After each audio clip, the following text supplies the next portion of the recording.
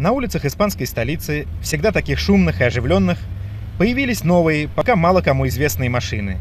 Изящные, окрашенные в яркие цвета, у одних они вызвали удивление и любопытство, у других – профессиональный интерес и восхищение. Покупателям на материковой части Испании и на Канарских островах фирма Ibn Auto в специально сооружаемых торговых центрах предложит все семейство наших лад. Но, пожалуй, наибольший интерес здесь вызвала Нива – Испания – страна развитого сельского хозяйства, бескрайних полей и пастбищ, страна густого переплетения дорог.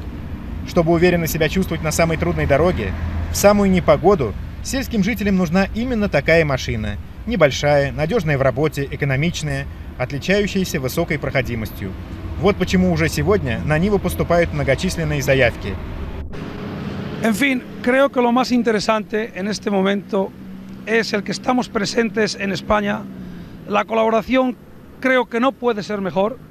El automóvil conocido mundialmente, creemos, no sé creemos, estamos seguros de que este automóvil ha de ser uno de los automóviles más vendidos en nuestro país.